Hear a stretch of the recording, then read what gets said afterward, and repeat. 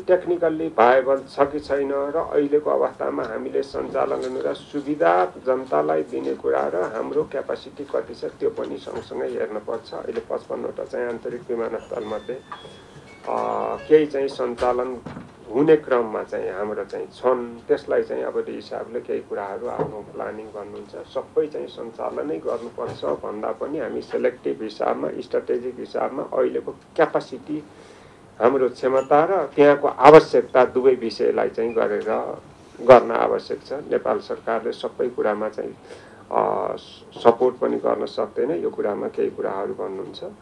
र नारायणी सङ्ग्रहालयमा अब विभिन्न कार्यालयहरू राखेर यो चाहिँ सङ्ग्रहालयको महत्त्व अलिकति कम भयो कि भन्ने चाहिँ कुरा जुन छ। वास्तवमा यो पनि अर्को समस्या। केही चाहिँ विशेष गरी त्यही सम्बन्धित कार्यालय नै हो। अब हाम्रै मन्त्रालय अन्तर्गतका विभागहरू निकायहरू जस्तो प्रतिलिपि अधिकार अनुसन्धान परिषददेखि लिएर पञ्चाङ्ग निराग समिति। अब यिनलाई चाहिँ हाम्रो चाहिँ लङ टर्म प्लान त्यहाँ नराखिकन बाहिर कार्यालय नै राख्ने हो। अहिले तत्काललाई व्यवस्था केही गर्न नसकिया हुनाले त्यहाँ राखिएको तर चाहिँ त्यसको चाहिँ हाम्रो जुन स्पिरिट छ नारायणी दरबार सङ्ग्रहालयको जुन स्पिरिट छ त्यसलाई चाहिँ किल नहुने किसिमले केही व्यवस्थापनका विषयमा सुधारका विषयसम्म हामी गर्छौँ तर तत्कालै कारले सारिहाल्न सक्ने अवस्था छैन मान्यज्यू हामीले अहिले यहाँ त्यत्तिकै भनेर पनि हुँदैन। हामीलाई सरकारले अथवा कहीँ चाहिँ बजेटबाट अरू कार्यालयहरू कहीँ व्यवस्थापन भयो अरू विकल्प भयो भने सार्ने हो नभए चाहिँ अहिले तत्कालै सकिने बरु त्यहाँ भएका कार्यलाई कसरी व्यवस्थित गर्ने कहाँनिर राख्दा उपयुक्त हुन्छ हजुरहरूले स्थलगत रूपमा हेरेर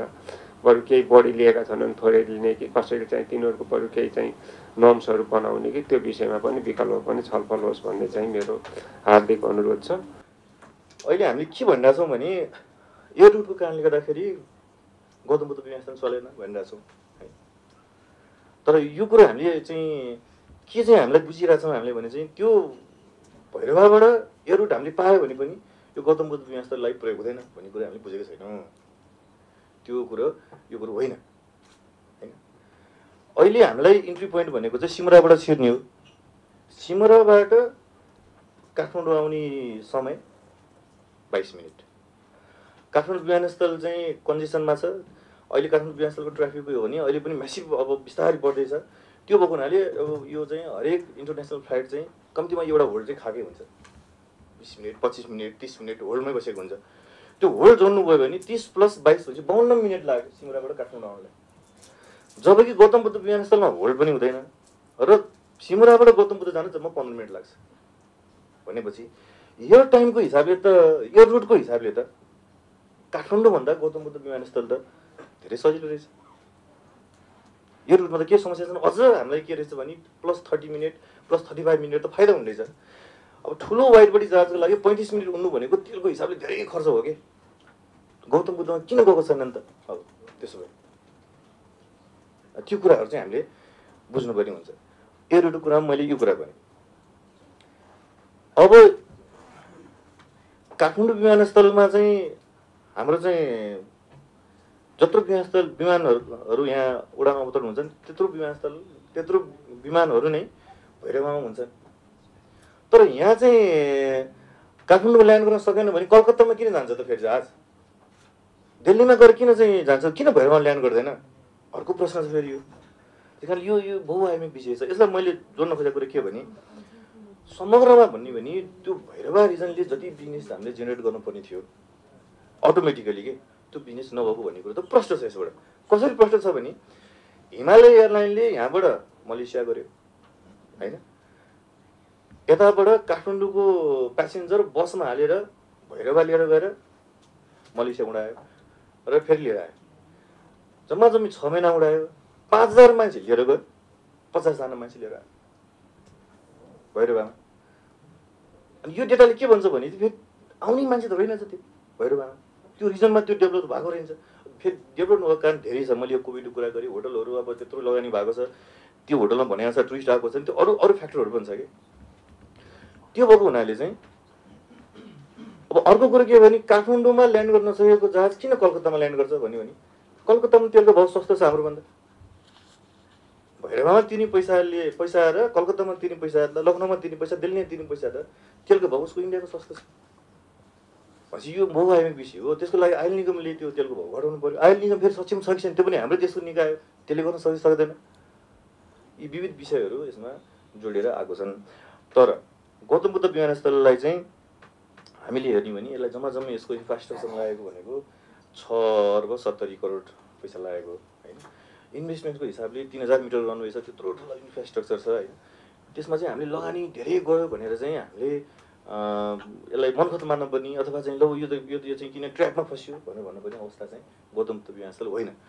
र यसको लागि हामीले श्रीमान सजिलले पनि भन्नुभयो यसले एउटा कमिटी गठन गरेको छ हामीले। अनि यो त किन छवटा मन्त्रालय देख्दा छवटा मन्त्रालय हो। तर त्यो हाम्रो सरकारी निकायभन्दा त्योभन्दा ठुलो डोमेन चाहिँ प्राइभेट सेक्टरको छ क्या जस्तो म भन्छु भैरवाबाट चाहिँ लेबरको मान्छे पठाउनु पऱ्यो भने के के चाहियो त भनेको हजुरको म्यान पावर कम्पनी चाहियो ट्रेनिङ इन्स्टिट्युट चाहियो ल्याङ्ग्वेज इन्स्टिट्युट चाहियो इन्सुरेन्स चाहियो रिइन्सुरेन्स चाहियो होटल चाहियो जिएससी चाहियो प्राइभेटको डोमेन बढी छ क्या झन् गभर्मेन्टको त हाम्रो त धेरै त गइ नै सकेको छ क्या श्रमको गएको छ भिसाको गएको छ होइन? यद्यपि हाम्रो कोर्डिनेसन हामीले गर्नुपर्छ होइन? तर ऐनले दिएको नियमले दिएको चाहिँ हामीलाई चाहिँ जिम्मेवारी के हो भने विमानस्थलको निर्माण मर्मत सञ्चालन अपरेसन लिएर भनेको त्यो त सबै पुरो भएको छ नि त। भनेको के रहेछ भने चाहिँ त्यहाँ चाहिँ त्यहाँ चाहिँ प्राइभेट सेक्टर पनि जानलाई त्यति इच्छुक छैन है। अब यसको उपाय के हो भनेको दुइटा उपाय भयो एउटा उपाय के भने त्यहाँ अटोमेटिक बिजनेस जेनेरेट भयो पहिला कोभिड प्री कोभिड जस्तो आयो भने चल्ने एउटा उपाय भयो दोस्रो के गर्नु भने हामीले के गर्नु पऱ्यो भने ट्राफिक रेगुलेट गर्नु पऱ्यो। त्यो संसारभरि हुन्छ। राज्यले चाहिँ मेरो यो एयरपोर्टमा म यो ट्राफिक मात्रै राख्छु यो ट्राफिक राखिदिनु भन्ने अधिकार राज्यलाई छ। त्यस कारणले काठमाडौँ विमानस्थलमा भएको ट्राफिकहरू हामीले के गर्नु पऱ्यो त्यसलाई रेगुलेट गर्नु पऱ्यो त्यसलाई डिस्ट्रिब्युट गर्नु पऱ्यो। जस्तो कि श्रममा जाने चाहिँ हामी किन भएर सहरको हिसाबले पनि सस्तो सहर पऱ्यो काठमाडौँमा काठमाडौँभन्दा र वैदेशिक रोजगारीमा जाने त सबै त्यही तराईपेटको जाने म्याक्सिमम् जाने त। भनेपछि त भैरवा नै सही हुन्छ नि त। भनेपछि श्रमको फ्लाइट जति चाहिँ लेबरको फ्लाइट चाहिँ भैरवादेखि गरौँ। भन्ने निर्णय गर्न सक्यो भने भन्ने त्यो लाग्यो भने त यो विमानस्थल चल्छ नि त। आखिर रेभेन्यूको हिसाबले त हामी एउटै बास्टिकमा काम गरेछौँ भैरवाबाट पैसा उठ्दाखेरि पनि काठमाडौँबाट पैसा उठ्दाखेरि पनि त्यो एउटै हुन्छ। यद्यपि यो सबै कुराहरू यो अहिले समितिले पनि यसलाई उठाउँछ। यसमा हामी गरिरहेछौँ। र समग्र हामीले बुझ्दाखेरि चाहिँ के हो भने चाहिँ अहिले मैले भनेको जस्तो त्यो जुन दुईवटा उद्देश्यले हामीले गरेको थियौँ त्यो दुईवटा उद्देश्य अनुसारको कुराहरू चाहिँ अहिले यो कोभिडको कारणले गर्दाखेरि र अब अरू बिजनेसको कारणले जस्तो हाम्रो फेरि के रहेछ भने सामाजिक संरचना कस्तो रहेछ भने जस्तो पाल्पाको गुल्मीको अरखाँचीको मान्छे भैरवाबाट अमेरिका उड भने पनि काठमाडौँ नै आउने भयो कि? किनभने उसको नाता गोता साथीसँग सबै काठमाडौँमा छन् अहिले त्यो खालको स्ट्रक्चर पनि हामीमा छ होइन? त्यो कारणले गर्दाखेरि यो भैरवाको तर अब यो यो चल्नेमा चाहिँ म चाहिँ किन आशावादी विश्वस्त छु भने चाहिँ काठमाडौँ विमानस्थल चाहिँ अब बिस्तारै अहिले हामी पचासी नब्बे लाखमा पुगिसकेका छौँ। यसलाई अर्को वर्षदेखि हामी धान्न सक्ने अवस्थामै हुँदैनौँ। त्यस कारणले यो हाम्रो ग्रोथ ग्रोथ भने त कहिले रोकिन्न यो त जान्छ जान्छ। त्यस कारणले त्यो त्यो ग्रोथको पनि हामी प्रतीक्षामा छौँ र त्यो त्यो छिट्टी आउँछ नम्बर एक होइन? नम्बर दुई के हो भने चाहिँ काठमाडौँ विमानस्थल हामीले हामी बनाउँदैछौँ। हजुरहरूले अब जाँदाखेरि देख्नु भयो होला कामहरू भइरहेको छ। अब यो हामी एक कार्तिकको तेइस गतिदेखि आउने कार्तिकको तेइस गतिदेखि चैतको अठार गतिसम्म। लगभग पाँच महिना चाहिँ यो विमानस्थल हामी बेलुका दस बजीदेखि आठ बजी बन्द गर्छौँ कामको लागि। त्यस कारणले त्यसको त्यो त्यो बेलाको अल्टरनेट पनि यो के हुनसक्छ? भैरवा हुनसक्छ। त्यस कारण यो पूर्वाधार बनेको छ। यसमा धेरै अवसरहरू छन् अवसरहरू आउने छन् त त्यसको प्रतीक्षा हामीले गर्नुपर्छ। र हामीले कोसिस पनि गर्नुपर्छ। त्यो कोसिस हामीले गरि नै रहेको छौँ। यो भयो यसको सञ्चालनको कुरा लगानीको कुरा। अब यो अहिले इन्स्ट्रुमेन्टल ल्यान्डिङ सिस्टमको कुरो चाहिँ यो पनि रहेछ यसमा। अब यो इन्स्ट्रुमेन्टल ल्यान्डिङ सिस्टम भनेर चाहिँ के हो भने हामीले यसलाई सामान्य अर्थमा बुझ्दाखेरि चाहिँ एउटा उपकरण हो। यो उपकरणले के गरिदिन्छ भने जहाजलाई कुनै पनि आइरहेको जहाजलाई अब अहिले हामीले चाहिँ हाम्रो अठार सय मिटर देख्नुपर्छ हामीले। जहाजको मान्छेले पनि देख्नु पऱ्यो हामीले पनि अठार सय मिटर देखेपछि जहाज आउन सक्ने भयो उड्न सक्ने भयो। यसले के गर्छ यो उपकरणले भन्छ करिब सात सात सय मिटर आठ सय मिटरसम्म देख्यो भने चाहिँ त्यो त्यो अठार सयलाई घटाएर आठ सयमा ल्याइदिन्छ कि यसले। भनेपछि आठ सय मिटरदेखि पनि पुग्यो भनेपछि हजुर कुहिरो कुहिरो लागेको बेलामा चाहिँ अब अठार सय मिटर देख्नुपर्ने ठाउँमा आठ सय मिटरदेखि पुग्यो। यसको यति हो काम होइन? इन्स्ट्रुमेन्टल ल्याङ्ग्वेज सिस्टमको काम यो हो। अब तर यसको विषयमा चाहिँ के हो भने यसको यो हामी त्यहाँ राख्यौँ। यो मैले सुरुमा कहाँ जोडेको थिएँ भने यो South Asia infrastructure tourism development project भनेको यो इन्डिया नेपाल यो सबै भएको हुनाले त्यो प्रोजेक्ट कम्पोनेन्टमा अहिले यति धेरै चाहिँ यो समस्या पर्ला भन्ने हिसाबले त्यो बेलाको मान्छेले सोचेन किन प्रोजेक्ट कम्पोनेन्टै एउटै थियो। तर अहिले के भइदियो भने चाहिँ यो इन्स्ट्रुमेन्टल ल्यान्डिङ सिस्टमको अलिकति यसको अब यो चाहिँ एउटा एउटा मेसिन जस्तो एउटा उपकरण हो केही हुँदैन अब अलिकति हुन्छ। त्यसको वेब जान्छ क्या। त्यसको वेब चाहिँ अलिकति प्रोटेक्सन एरिया थोरै चाहिँ हाम्रो के अरे इन्डियाको भारतको चाहिँ थोरै भूभागमा अलिकति छुन्छ। त्यो कुनै लाइन छोको नै होइन यो एउटा इमेजिनरी सर्फेस हो क्या। जस्तो यसलाई हजुरले बुझ्दाखेरि के भन्नु भने वीरगन्जमा चाहिँ एफएम खोल्यो भने त रक्सोमा सुनिन्छ नि त। त्यस्तै त्यस्तै हो यो। वेबको कुरा हो। यो भर्चुअल एउटा इमेजिनरी लाइन हो। त्यसको लागि चाहिँ दुई देश बिचको सहमति हुनुपर्छ। हामीले चाहिँ निकाल्दाखेरि यो फेरि कुटनीतिक कुराहरू पऱ्यो यो चाहिँ अब हामीले हाम्रो हिसाबबाट पनि गरिरहेको छौँ प्राविधिक हिसाबले। यो चाहिँ स्टेट लेभलबाटै गर्ने कुरा हो। जस्तो सम्मान्य प्रधानमन्त्रीको भारत भ्रमणमा यो विषय उठेको थियो हजुरले सुन्नुभयो होला यो विषय उठेको थियो। उहाँहरूले यो विषयमा चाहिँ अब प्राविधिक समितिले काम गरोस् कमिटी टेक्निकल जोइन्ट जेटिटी भन्छौँ हामी जोइन्ट टेक्निकल टिमले काम गरोस् भनेको छौँ। अब यो विषयमा किन किन भएन कसो भएन भनेर भन्नुभन्दा पनि हाम्रो चाहिँ कुटनीतिक पहलै आवश्यक हो। अब यसमा हामीले यहाँ धेरै किन दिएन भन्नु भन्ने भन्दा पनि दुई उसको सहमति चाहिने भएपछि त हामीले उसँग नै नेगोसिएट गर्नु पऱ्यो यो नेगोसिएसनको क्रममा छ। यो मलाई विश्वास छ यो पनि यो हुन्छ। तर यसको विकल्प के हो त फेरि अब? होइन यसको विकल्प पनि छ हामीसँग। भन्छ अहिले चाहिँ हामीले आरएन आरएनपिआर भन्ने छ हामी। यो चाहिँ सेटेलाइट बेस्ड नेभिगेसन सिस्टम हो। त्यो सेटेलाइट बेस्ड नेभिगेसन सिस्टम चाहिँ अब अहिले हामीले चाहिँ अब आउने विन्टर सेड्युल भनेको जुन बेलामा यो टिआई विमानस्थल त्रिभुवन अन्तर्राष्ट्रिय विमानस्थल हामीले दसदेखि आठ बन्द गर्छौँ भनेका छौँ। त्योभन्दा अगाडि नै हामी यो आरएनपिआर चाहिँ हामी के गर्छौँ? यसलाई यो यसलाई हामी प्रकाशित गर्छौँ। यो एउटा चाहिँ सेटेलाइट बेस्ड रुट हो। यसले पनि के गरिदिन्छ भने आठ सय मिटरसम्म ल्याइदिन्छ यसले। त्यस कारण त्यसको विकल्प पनि हामीले सोचेको छौँ। अब आउने विन्टर सेड्युलभन्दा अगाडि नै हामी यो प्रक्रियामा जान्छौँ। भैरवाको लगभग सिद्धिस्त अनि यो अब यो पचपन्नवटा विमानस्थल नचल्नुको कारणहरू भनिन्छ। अब यसलाई पनि मैले थोरै अलिकति अलिकति फ्ल्यासब्याकमा हामी जान पऱ्यो पहिला हामीले चाहिँ अब भनौँ न अनि हाम्रो हाम्रो लक्ष्य के थियो हाम्रो भने हरेक सदरमुकाम चाहिँ सडक सञ्जालमा जोड्ने भन्ने लक्ष्य थियो होइन? अब त्यो बेलामा विमानस्थल कति महत्त्वपूर्ण थियो त्यो सोध्नु पऱ्यो कि हामीले अब अहिले? यी सबै विमानस्थलहरू जो बन्द भयो जस्तो बैतडी हजुरको चाहिँ दार्चुला होइन? त्यसपछि त्यहाँबाट आएर यता पूर्वको चाहिँ विमानस्थलहरू डोटी भयो यी सबै विमानस्थल त्यो बेला कति महत्त्वपूर्ण थिए? त्यो बेलामा यातायातको रिलायबल चाहिँ एउटा मोड भनेकै साधन भनेकै विमानस्थल थियो। हामीसँग जहाज पनि टोइनेटर जहाजहरू बढी थिए।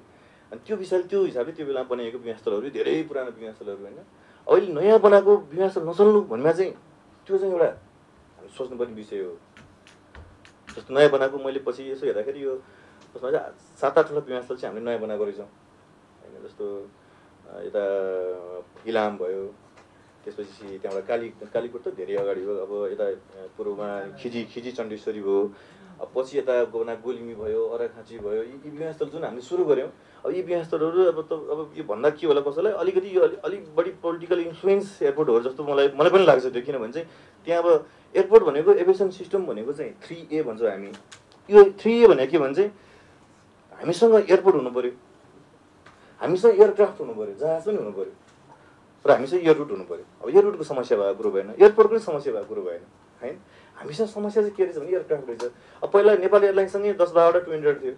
अब अहिले दुईवटा ट्विन त्यो पनि घरि चल्छ घरि चल्दैन अनि त्यसपछि प्राइभेट सेक्टरहरू पनि अलिअलि त्यो बेलामा सिङ्गल इन्जिनहरू जहाजहरू थिए होइन? त्यो बेलामा त्यही चल्थ्यो। अब अहिले जहाज हामीसँग जम्मा नेपाल एयरलाइन्सको दुईवटा तिनवटा चारवटा समेत चार पाँचवटा सीताको तिनवटा भने आठवटा जहाजले चाहिँ यत्रो देशभरिको पचाउनु बिहान चलेन भन्न पनि चाहिँ त्यसलाई चाहिँ किनभने त्यो अब एयरक्राफ्ट हामी थप्नु पऱ्यो यो रिलायबल बनाउनु पऱ्यो अब तर एयरक्राफ्ट हुनु पऱ्यो भन्नेमा सरकारको नीति हामीले हेर्नु पऱ्यो फेरि हेर्नुहोस्। एयर टिकटमा अहिले हाम्रो भ्याट लागिरहेको छ यो भ्याट चाहिँ नलाउनु राम्रो भएन जनतालाई असर गर्यो भन्नु भन्दाखेरि फेरि योपालि बजेट पनि त्यो एजिटी चाहिँ भयो होइन। नेपालमा चाहिँ हामीले जहाज किन्नेलाई चाहिँ के गरिदिनु पऱ्यो भने चाहिँ हामीले छुट दिनु पऱ्यो कि? हामीले सरकारले त सरकार ग्यारेन्टी बसेर लोन दिने हो कि ब्याङ्कमा कन्सोर्टियम बनाइदिनु भनिदिनु हो कि ट्याक्स फ्री गरिदिनु हो कि नयाँ जहाज लिएर हौ त्यो नयाँ जहाज आएपछि के हुन्छ नि एयरपोर्ट पनि चल्छ यसले जनतालाई पनि सेवा दिन्छ। र अप्रत्यक्ष रूपमा इन्डाइरेक्ट इकोनोमीमा त यसले पनि त कन्ट्रिब्युसन गरेर हुन्छ यसको पनि त जिडिपीमा योगदान हुन्छ त। त्यो जहाजमा ल्याएर भ्याट हाल्ने जहाजमा ट्याक्स हाल्ने मात्रै राज्यले आम्दानी सोच्यो भने त यसको कहिले पनि विकास भएन। त्यस कारण राज्यले पनि त्यो खालको सहुलियतपूर्ण नीति लियो भने एयरक्राफ्ट थप्न सक्यो भने यी विमानस्थलहरू चल्छ। अब पहिल्यै बनाइसकेको विमानस्थलहरू त अब किन बनाइस् भनेर सोध्न चाहिँ किन भएन भने चाहिँ त्यो त अब त्यो बेला बाटै थिएन होइन? त्यस कारण यी चलेनन् अहिले। अहिले बाटो नभएको कारण थियो र अर्को के भन्छ जहाज पनि हामीसँग कम हुँदै गएको हो किनभने त्यो बेलाभन्दा हरेक चिज प्रोग्रेसनमा गइरहेको छ कि तर नेपाल मात्र यस्तो देश हो जहाँ जहाज चाहिँ घटिरहेको छ कि हरेक चिज प्रोग्रेसमा गयो जहाज चाहिँ घट्दै गयो कि भनेपछि दुइटा दुईतिर लगाएपछि त यो यो त बन्ने त जहाज एयरपोर्ट चल्ने त विषय नै भएन नि त त्यो र त्यो हुँदाखेरि पनि जस्तो अहिले भएका उसले पनि जहाजहरूले पनि होइन अब जस्तो हुम्लामा होइन चुनाव गराउँदा पुलिसको बर्दी पुऱ्याउनु होस् कि नुन पुऱ्याउँदा होस् कि स्टुडेन्टलाई किताब पुऱ्याउँदा होस् कि खोप पुऱ्याउँदा होस् कि यो त त्यहाँको अहिले पनि लाइफलाइन छ ती जहाजहरू यी जे हाम्रो एयरपोर्टहरू। भोलि हिजो भुइँचालो गएन रुकुममा चाहिँ त्यो चौरधारी चलेन अनि सल्ले चलेन भन्दा भनी भन् भनिरहँदाखेरि भुइँचालो गएको बेला फेरि सल्लेमा र चौरधारी त जहाज नसकेपछि फेरि नागरिक के गर्थे? त्यो कुरो पनि हामी सोध्नुपर्छ। त्यसै कारण कति कुराहरू रणनीतिक कुराहरू हुन्छन् कति कुराहरू व्यवहारिक कुरा हुन्छन्। अब सबै सधैँ नाफा घाटाको मात्रै हामीले चाहिँ एनालाइसिस गऱ्यो भने त हजुरको त नौवटा विमानस्थल चलाउनुपर्छ मैले अरू बन्द गरिदिनुपर्छ किनभने सबै विमानस्थल पाहाडका त सबै घाटामा छन् त्यो विमानस्थल बन्द भयो भने त हाम्रो त सबै लाइफमा नै जान्छ होइन? त्यस कारणले चाहिँ यो सबै कुरा समग्रमा हेर्दाखेरि चाहिँ यो एउटा पोलिसी चाहिँ अलिकति जहाज थप्ने पोलिसी ल्याउनु पऱ्यो होइन? त्यस पछाडि हामी अरू यसलाई रिक्रिएसनमा युज गर्ने कि जस्तो बाटो गएर नचलेको विमानस्थलहरू अरू अरू केमा प्रयोग अल्टरनेटिभ जस्तो योपालि बजेटले पनि बोलेको छ हाम्रो। होइन?